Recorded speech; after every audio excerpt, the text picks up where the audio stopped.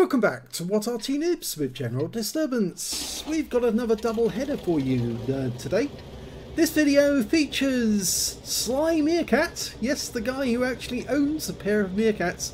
And in the first video he's on the VK3601H which is the Tier 6 German heavy tank built by Henschel, the 36 ton tank, one of their development tanks on the way to the Tiger.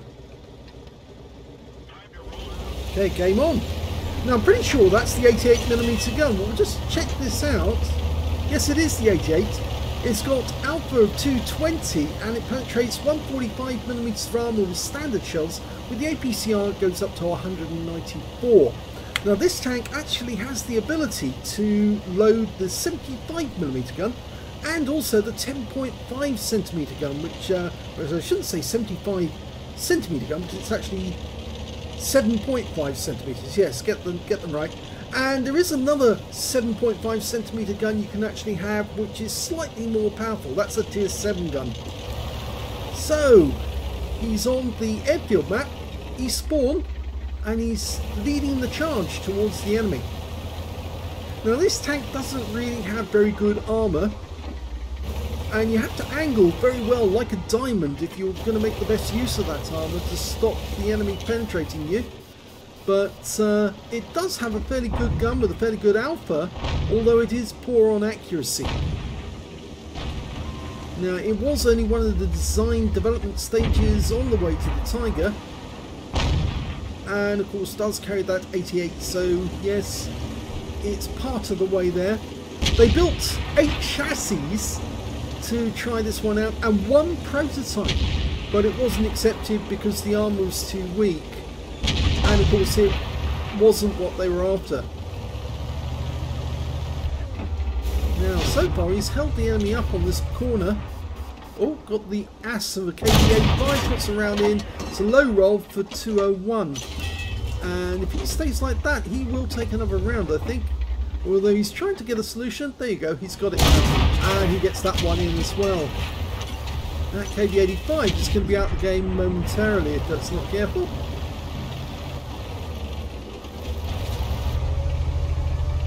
Now you do have to watch out. Oh yes, he gets him. You'd have to watch out going around this corner because you are a prime target for the tank destroyers right at the back. I know because I've played this position. Oh, he gets a lovely round into the T150 and he pops out for another one. Nope, didn't get it that time. The standard reload is 6.62 seconds, and he's got 5.82. Tries to go for the commander's hatch. It's quite a biggie, isn't it, there? Didn't get it, and the target was killed before he could get the shot in. 45 TP takes a round. Okay, yes, he's got past that gap. Now he's got an ARL-44 to deal with. And he should be able to take the guy out with two shots. Yeah, oh, one shot actually, because he rammed him to death with the rest. Now he's actually being shot at by the Super Hellcat above him. And there's the 45 TP up there who probably wants some revenge. In fact, they both pull back because they know that they might get an 88 round into them. And he's almost like tempting them to come down. You know, come on down! You don't get a free car. Well, it's not the price is right. But you might be wiped out when you do because that is a steep cliff. But the, they don't want to leave that spot, do they? And he swings the gun around just a little too late, but yep, gets the Super Hellcat instead. And oh, he's taking rounds from a Skoda T25 now. And an FL10. This is not good. Yep, not good, because those are autoloaders. And uh, well, both of them got 75mm guns. He puts a round into an SU-100 who misses. And now he's going to try and get around into the M4. Yes, he does. Okay. He's going to try and get another one into that guy. But he's ready. And remember, it is an autoloader. He puts a round near Skoda. Excuse me. And Skoda gets one back in revenge, but he puts one into him. Skoda can't afford to do that forever. Okay, the FL10 has been killed. It was killed by the T150 on our team. And we're now trying to outflank that uh, Skoda and get round behind him.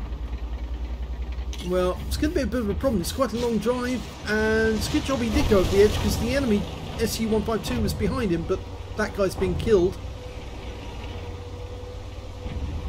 Our Hellcat saw to him. Okay, Skoda's about to come around the corner. Or is he? Yes, he is. Hello! a good shot. And he's out the game. Now it's the IS and we've got his ass. Oh, it didn't pen! He's got a big ass. Unfortunately, it's very strong. He puts one into the engine bay instead, and the kill shot goes to the Tiger. Oh no, it wasn't the Tiger P. Or was it? Yes, it was the Tiger P. Okay, there's only one enemy remaining. It's a Panther, and it looks like he's AFK and he's around the back of the map. Or is he moving? No, it's just us that's moving relative to him. He's still near the spawn point, and the Hellcat's got him, so there's no chance of us getting a kill on that one which is a pity. Sly's up to four kills. But I don't think he's going to get a chance, no, because the Hell Panther will die to the SU-100, I think, actually. He's going in for a ram. Or did he get it? No, he didn't get it. And the kill shot does go to the Hellcat after all. So the first game is over, and it is a victory. Let's have a look at the second battle. The second battle features the Skoda T25. Yes, we saw one of those in the last battle. Uh, it does have a big ass. Game on! Okay, we're on the Glacier map this time, South Spawn. This tank has a 75mm gun and it's capable, it's an autoloader with three shots. It's capable of firing out three shots, doing 110 alpha in, I think it's uh, 1.1 seconds between each shot. 1.3 seconds between each shot. That's what um, Sly Meerkat's got. He's gone for the centre line because obviously you can shoot at the enemy tanks. They're making their way up onto the aircraft carrier. He's got one already. Two shots into a Super Hellcat who came up onto the right onto the centre line, which is asking for trouble and he stopped there to take a shot at somebody else but didn't realise there was an autoloader sitting right in front of him and I think now he's probably feeling a bit peeved. In fact he's running away and he's just allowed Sly to put three more rounds into him for another 351 hit points but the enemy T no it's the DS Prinz and a Cromwell were having two shots at him from a distance away. Oh, going for the T-78, gets no he did get spotting, but none of his shots actually hit the target. Now he needs to watch out because there are a couple of enemy tanks over there. T-67 and of course that DS Prinz. The ones that hits him and the Cromwell. Whoa, whoa, whoa, running into his Jackson. And that guy's a good player because he's got two high calibers. See the arcing shells arcing through. Now this is an interesting spot to fire from. Now he can use the gun depression over the side of the vehicle. And he spotted a KV-222 who's decided to stick near the cap. Instead he's putting rounds into an M10 RBFM, gets a kill! Nice. Did take a round from the M10, so it's an exchange. But he is out the game now. And that KV-222 is probably still there. Bit strange that, because he should have gone to the northwest corner and he didn't. Which kind of makes me think that well, none of our guys have gone up that corner either, but it does mean the enemy is vulnerable from that flank. There he is. There's the enemy OI. He is making his way to that corner. Can he get a shot? I think that first shot was a bit premature. Pop the reload. Yep. Standard reload is uh, 7.67 seconds. He's got 7.26, so he is quite fast. Oh, just lost the ELC. Can he get shots into this budgie? Yes, he can. And he gets a kill. And puts the last shell into the OI. Enemy RT is paying attention now, so he needs to move somewhere else. We know there's a Super Hellcat on the enemy team round the northwest corner. Been spotted by our Super Chaffee. But Sly's not interested in that. I think he's more interested, more concerned about the enemy tanks maybe over on the west side of the cap uh, of the uh, battlefield. So the west side? No, the east side of the battlefield. Let's get it right. The Hellcat on our team moved around the corner to find that Super Hellcat, and he's found him. Right up against the wall. So obviously, and he's a one-shot as well. So he could be out the game momentarily, and he is. Okay, so there's only that OI. But with two tanks working on that OI, should be able to take him down. Hellcat's moved to the corner. He's found the OI. Okay, the OI is looking at him. Now, the way to do this would be for one of us, preferably Sly, to go all the way down that side and then shoot him in the ass when he pops out. Um, and then, obviously, he's going to be totally focusing on the Hellcat. Good, he's going to do this. Good, excellent. This should work. He's loaded premium ammo. Hello! It's... yes, he's turned his turret the wrong way. Mind you, he's going to back up against the wall. Now, this is where the gun depression on the OI really lets them down. And he's pumping rounds in, his teammates are turning up to finish him off. And he can just keep under the gun depression of the. There's nothing he can do. And there you go. He's gone. Well done. Good teamwork. That's how you do it. You take on a huge tank like that with solid armour and you just totally troll them by getting underneath their gun depression whilst they're busy with somebody else and the guy turned his turret the wrong way which is a big mistake. So Sly's now going back to the cap area but that's because there are still enemy tanks on the east side of the map. He's not interested in going to the cap because he knows there's that KV-220 there and there's also a Type 64 somewhere along the way and that's quite a good sniping tank in many ways much like the uh, the Hellcat, but it is a Hellcat turret on anti-aircraft chassis. you can still see that KV-220s there. In fact, now he's going to go up onto the aircraft carrier and see if he can get some sniping shots in himself. He has loaded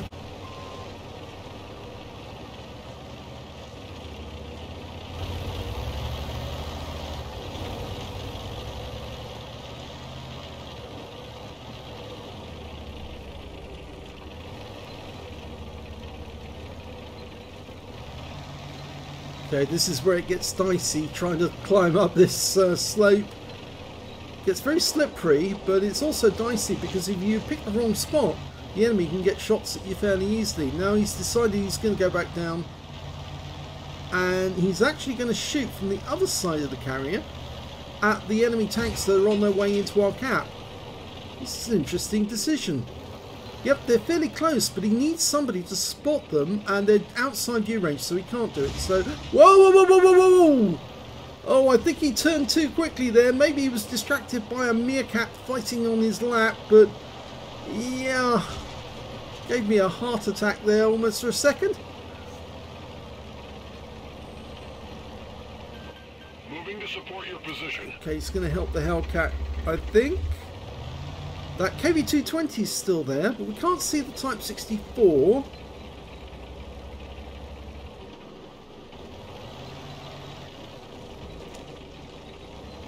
The Hellcat's made a bit of a difficult move there because he's gone way up on there and he could fall off that and die if he's not careful. In fact, he probably will. But instead, Sly's decided he's going to go off the carrier. I think that Hellcat's about to take a slide to oblivion. Okay, there's the T-78. He's hiding in the bushes behind that rock, so there's not a lot we can do there. We still don't know where the Type 64's gone. We know there's a 45 TP and a Panther. There's the Panther. Have we got shots? No, probably... Oh, yes we have. Just. Just the top. I think that Jackson's angling for a nice little shot in his butty. I should say butt actually, not butty, but I think that 45 TP's butt's about to be wiped.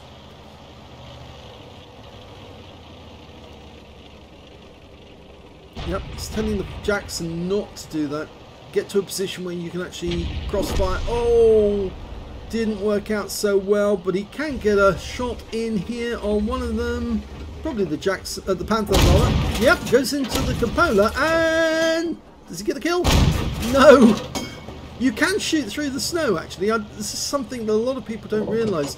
Even if you um, if you could just see the cupola, uh, even if the snow's in the way, sometimes you can actually get the shot through. And oh, narrowly missed the shell there from the enemy gorilla. And the 45 TP goes down. He did get the kill. I think he was distracted there for a brief moment by an SU-122A shell. And here's the enemy Grilla. Ooh, God, he's trying. he's very trying. And we know the Panther's somewhere around here. There he is. He's hiding in the bushes. Time go. And he's dead too. And it's the SU-122A again. And he got the patrol duty out of that one, I think. So he's still got half his hit points. And the enemy RT fired. Oh, ouch. That hurt. He was within the blast radius of the gorilla. 141 hit points lost. Yeah. He's a good gorilla player. In fact, both the SU-122 player and the gorilla are very, very good players because they've managed to put shells in places that they shouldn't be able to. And there goes the enemy Type 64, which means now that the only things we've got to worry about are the KV-220, their Type T-78, and their gorilla. I think I'd be more frightened of that gorilla player because he is rather good. And the T-78, well, he's got the 90mm gun. I think the best thing for Sly to do would be to go up on the ring road. Oh, he's got the gorilla. One shot, two, kill shot. Yes! Well, the gorilla's out of the way, and that explains why he was getting shots where he shouldn't have been getting them, because he was actually not in the bushes or the trees. He was actually further out and of course um, he took the risk to do that so he could get the shots at long range. Now Sly needs to go up onto the ring road to take out that T-78 because going up on the ring road is probably the only way that he can get round without the T-78 seeing him and he might able to get shots on the KV-220 at the same time. Okay, he's loaded the premium ammo but he's only got 8 shots left and the T-78's not in the bushes. He is actually down on the ice at the moment. Which means we're going for the KV-220. First shot. Remember, this is a tier 7 hull. You need to aim for the turret. He's letting the auto load go in. He's staying where he is. That's better. Through the sights. And again. And again. One more clip. The guy's not even responding. He's got a 76mm gun. And there's the kill shot. Okay, that's... He's only got one round of premium ammo left, so he's actually loading a clip of standard, but he doesn't need it because it's a victory. Here's the end of battle results, starting with the VK3601H on airfield. It was an ace tanker game for Sly Meerkat in the VK. He managed to get a hand of god for surviving the battle, having received damage from four different enemy tanks, a bruiser medal for getting at least five critical hits, he managed to get six, and a duelist for taking down two tanks who damaged him. He also got a fighter badge because he got at least four kills, and he got four exactly, and a fire for effect for doing more damage than the hit points for his own vehicle. This battle was over very quickly because he was so aggressive in it. Normally, most people aren't so aggressive in the VK3601H because, well, it's fairly weak on the armour, but it does have a very good gun gun and he was using the gun to good effect. Let's have a look at team score and see where he was. Well, you can see in this game he actually got the highest damage in the game, but no high caliber because he didn't get 20% of the enemy hit pool. 2,404 hit points of damage, the next high scorer being the M18 Hellcat with 1,985, followed by the Tiger P with 1,750. When it came to kills, he had the highest number of those with 4 kills. 3 kills went to the Tiger P and the 45 TP Habicha. And when it came to base XP, yeah, he's got the top in that one as well. So top in all three columns. 1,311 base experience points to him. 901 went to the Hellcat and 888 went to the Tiger P. He fired 17 rounds in this game, got 14 direct hits and 12 penetrations. Damage of 2,404 hit points, of which 227 were at more than 300 metres, so the majority of the damage was done at close range. Nine hits received from the enemy, five penetrations. Yes, the armour on this tank was so weak, that's one of the reasons why it was rejected in the end. Four non-penetrations, mostly hitting the tracks, and one hit by way of splash damage as well. 565 hit points of damage blocked by armour. One enemy vehicle spotted, nine enemy vehicles damaged, four killed, and 872 hit points of damage assistance. On a premium count, he earned 32,640 credits and after repair and ammunition resupply, took away 41,156 credits profit. And he earned 1,311 XP but took away 1,967. There's something obviously missing in here just as there is up here. but we won't know about it. But uh, yes, uh, a fairly comfortable game, but over very, very quickly in the VK3601H. So let's have a look at the second battle, and that was the one on Glacier. And in that one, that was also an ace tanker for Sly Meerkat. He got a Hand of God again for getting at least, uh, or receiving damage from four different enemy tanks. A Bruiser Medal for getting at least five critical hits, he got eight. A Duelist for taking down two tanks who damaged him. And a Fire for effect for doing more damage than the hit points of his own vehicle. In this one, he did get the high caliber because he did the most damage in the game. And because he picked up six kills when he took out the uh, KV-220, he actually got a Top Gun. And I missed out on that during the actual commentary because I was so focused on where was that T-78 because I was worried he might pop up at any moment and put a round into Sly. Anyway, let's have a look at the team score and see where he was. Highest damage again with 2,910 hit points. This time the second highest was the Budgie on his own team, 1,349. And the third highest damage was the OI with 1,224. When it came to kills, it was uh, Sly with six kills. Three kills went to the Budgie and also to the T-78 on the enemy team. That's why I was worried about him because he was quite a dangerous player. He was quite good and very accurate. And uh, two kills went to the OI and the 45 TP Habicha on the enemy team and their Cromwell. When it came to base XP, yes, he's got the top in all three columns again. 1,616 uh, XP in this game. 702 to the uh, Super Hellcat and 663 to the Budgie. Oh, sorry, it's, it's not a, it's that, that's the Super Chaffee, not the Super Hellcat. What am I talking? Uh, I thought for a second, yeah, the M24, that's not a Super Hellcat. um, 663 to the Budgie. Let's have a look at the detail. 40 shots fired, 35 direct hits, 30 penetrations, damage of 2,910 hit points, of which 880 were at more than 300 meters. He did a lot more long range shooting in the Skoda. It is actually quite a stable platform for that 75mm gun. Five hits received, three penetrations, one non-penetrations, and two hits by way of splash damage. The Guerrilla was very accurate. And as for the penetrations, well, the Skoda does have fairly thin armour. It's basically a, a development of the T24 Skoda.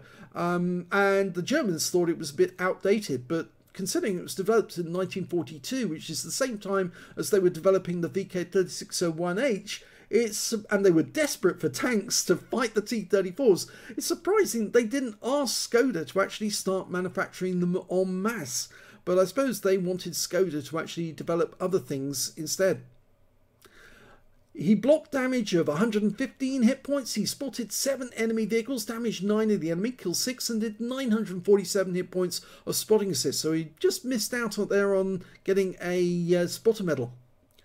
37,303 credits on a premium count, and after repair ammunition respawn, yes, he did use a lot of premium ammo in this game. He needed to on some of those targets.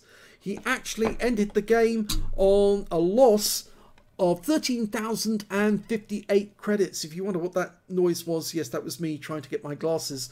Uh, 1,616 XP times 2 for the first victory, 4,848 experience points altogether. So, yep, the Skoda is actually quite a decent tank. I put it alongside the Cromwell in its effectiveness because it's quick, it's agile, it's got a nice gun with that autoloader. Uh, it's very effective actually. The the Cromwell has it on reloaded shot per shot, I think, as DPM. The Cromwell B is much better, but um, I think the Skoda's a fun tank to play. Uh, as for the VK, well, I'm glad that that experience was over for me once I'd actually got through it because I don't want to go back to it again. But it was a good game by Sly in the VK, and uh, congratulations at least for getting an ace tanker. I hope you enjoyed both those replays. If you did, please give our video a like, do subscribe to our channel, please um, leave a little comment down below because it feeds the algorithm.